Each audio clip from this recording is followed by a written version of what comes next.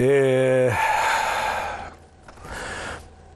ثلاث ملفات على طاولة مجلس الكابتن محمود الخطيب في اجتماعه الأول.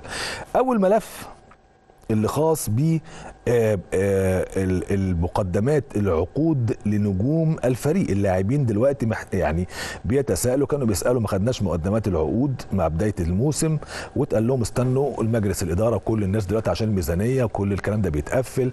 مش هيقدر المجلس دلوقتي في آخر شهر ولا شهرين بيسير أعمال فمش هيقدر يصرف فلوس وكل الكلام ده عشان ده بيتحط في ميزانية للمجلس القادم.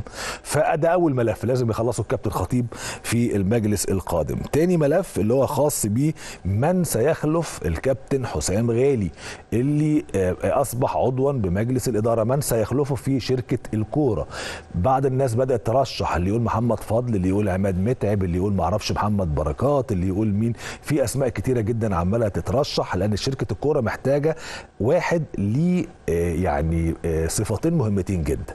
أول حاجة يكون يعني ابن بار بالنادي الأهلي. تعرف الأهلي بيحط الأبناء البررة فقط وده مهم جدا في المناصب.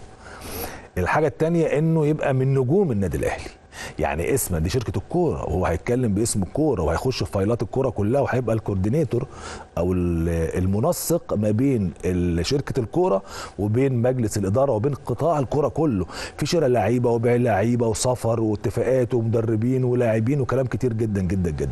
فلازم يبقى برضو نجم من النجوم المعروفين في عالم كرة القدم الأهلاوي. فده من الملفات اللي برضو بيجهزها الأهلي بجانب طبعا اللي اتكلمنا فيه من شوية هو التجديد بتاع موسيماني وتجديد التعاقد مع موسيماني والأهلي عازم على تجديد هذا التعاقد.